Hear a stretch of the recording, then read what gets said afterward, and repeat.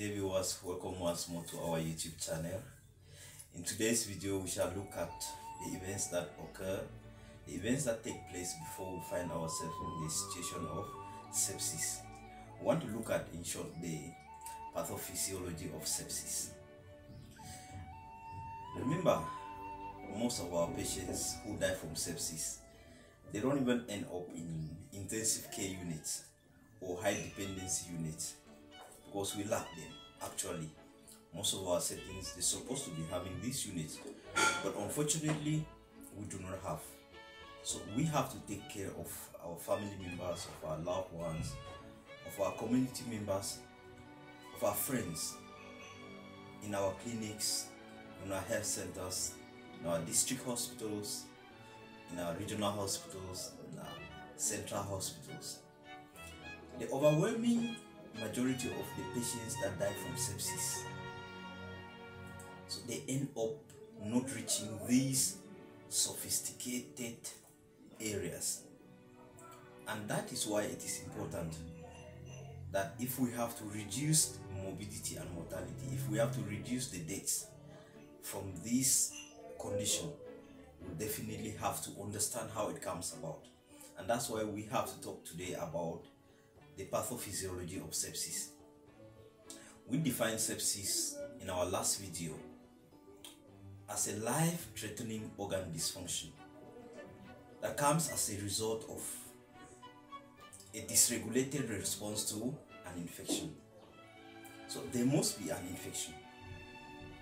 If we have to say there is a systemic overwhelming injury to the system, it starts first with an infection. This is what we have to understand. Remember, it has been difficult for clinicians to be able to manage sepsis well or identify patients with sepsis because of the different terminologies that have been used to talk about this condition. If we can go back, we know of uh, infection, we know of inflammatory response syndrome, systemic inflammatory response syndrome. We know of severe sepsis, talk of sepsis, talk of septic shock. So, in order to be able to identify specifically that these are patients with sepsis, the terminologies have been coined down, and that's why we talk now more of infection, sepsis, and septic shock. So, today we have to look at how sepsis comes about.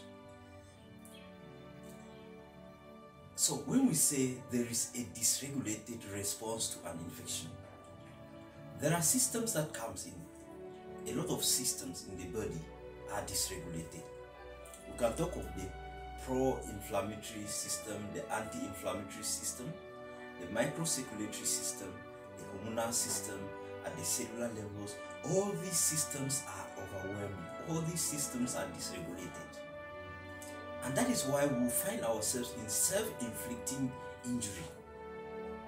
Because of this, we are bound to be able to say, okay, we have to switch from thinking, identification, management of infection to identification, management of sepsis. It shifts from a local infection and starts overwhelming the whole system. Remember, we also differentiated between sepsis and septic shock in our in our last video. So when septic shock ensues, there is a reduction in oxygen and nutrient supply to the to the tissues, and this reduction in oxygen and nutrient supply to the tissues causes what? It leads to cellular stress due to hypoxia, and this cellular stress leads to the release of substances at the level of the cells and the tissues. There are these substances again that will cause what? Self-inflicting injury. They will cause a self-inflicting injury, and that's how the process will continue. And our cells and our tissues will continue to be to be injured. So, the injury that takes place at the level of the cells and the tissues is really rapid. The progress from infection to sepsis or when sepsis set in the progress of cellular and tissue damage is rapid. And because it is rapid, it is important that interventions that have to come into play must be rapid. Remember, we always say that each second, each minute, each hour that passes, the likelihood of someone dying from sepsis is increasing. And because it's increasing, our interventions need to be timely. And these in, important interventions, there are three folds.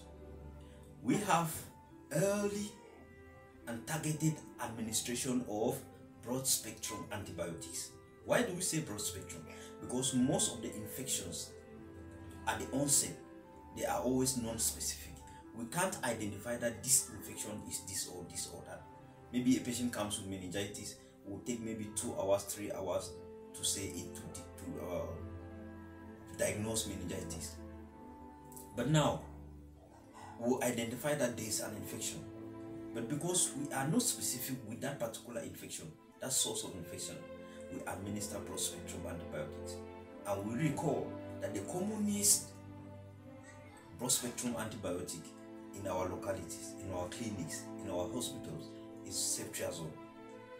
Now, we need to we need to foster tissue perfusion. Tissue perfusion with what? With fluids. And when septic shock ensues, we have to use vasopressors to be able to send fluids to the cells and the tissues. Also, we need to eliminate the source of the sepsis, or in other words, the source of the infection. For example, if the patient is having a ruptured appendix, in managing with antibiotics, administering fluids, or a vasopressor, we also need to do what? The surgical intervention needs to take place so that the source of the infection will be eliminated. Before we continue, when we have an infection, what happens? Like a mild infection, like a common cold, what happens? If if we take some rest, we take, we have uh, drink enough fluids, we take enough fluid.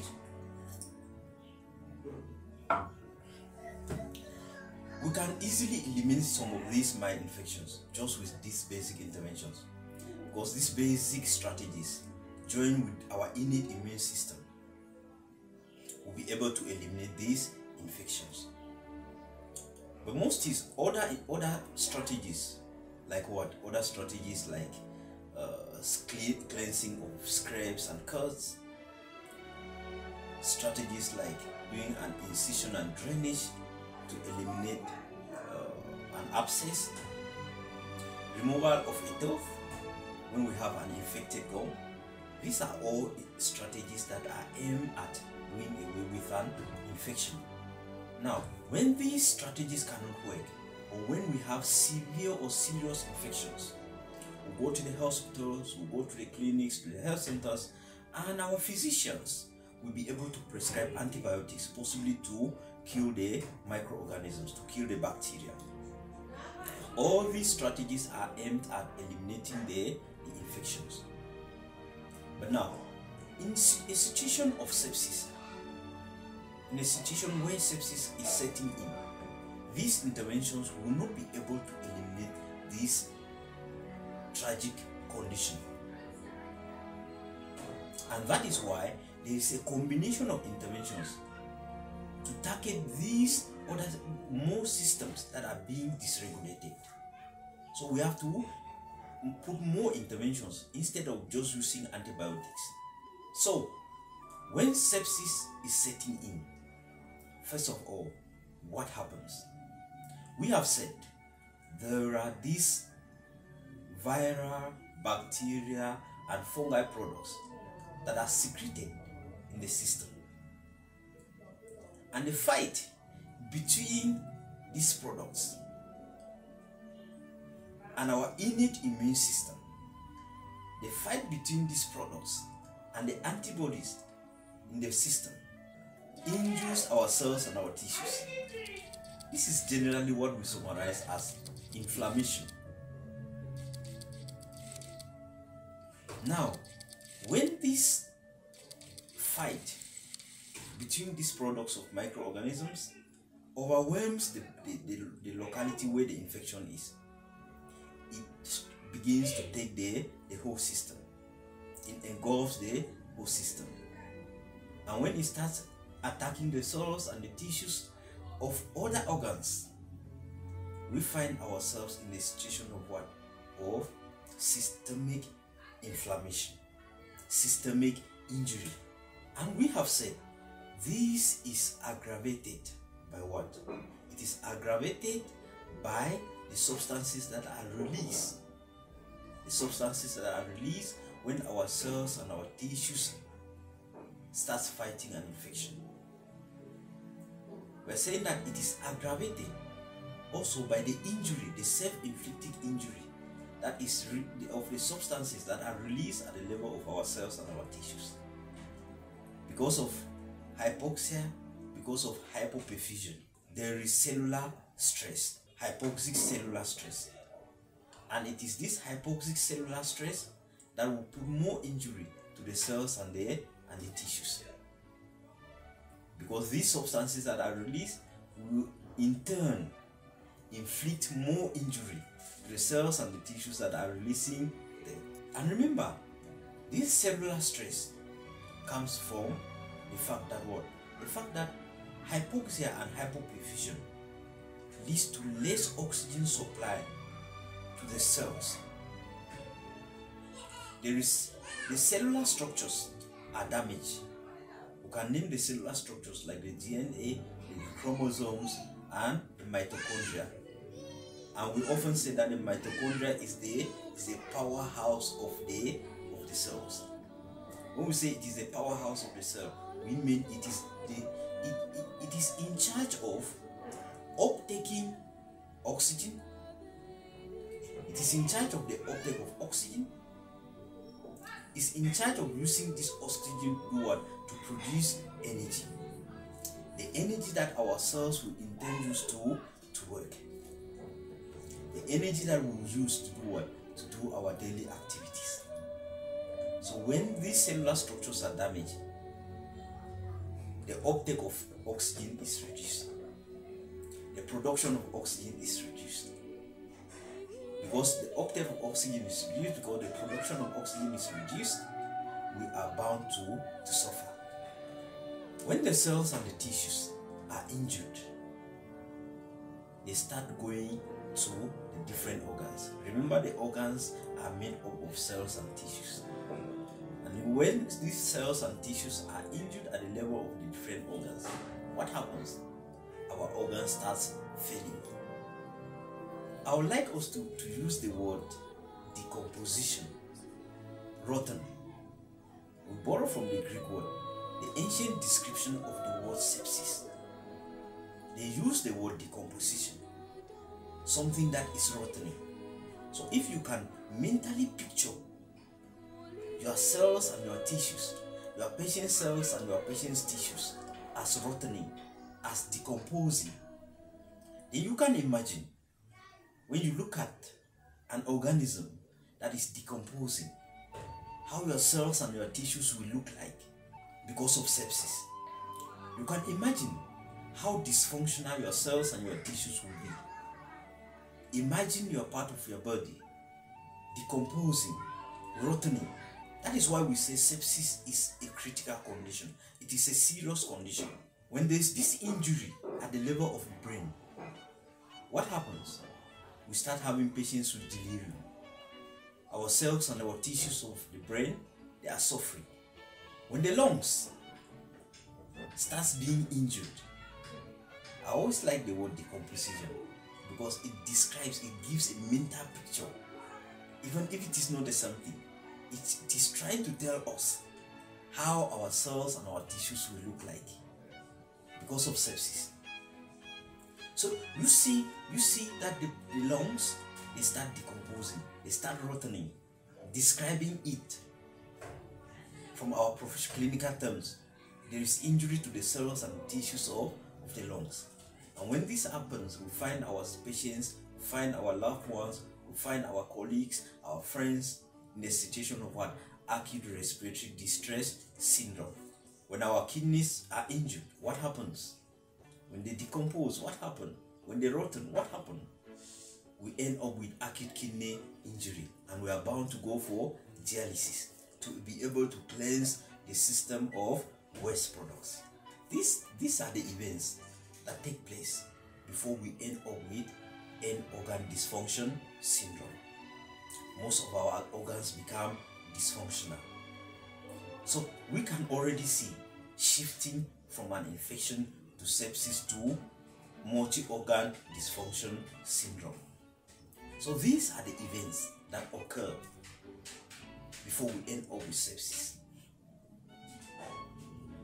So it's crucial that we have an understanding, a simple understanding, a mental picture of how sepsis comes about so that we should be able to prevent, we should be able to identify and treat it easily when it comes. It is a treatable condition, and that's why it is important that we understand how this comes about. You can already see how the clinical picture of sepsis is going to look like. This is going to be a discussion of another day.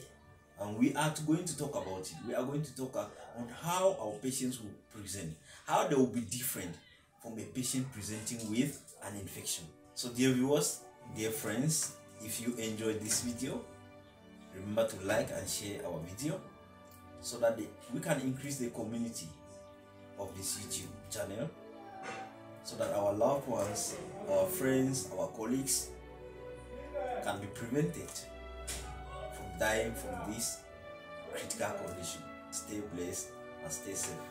Bye bye.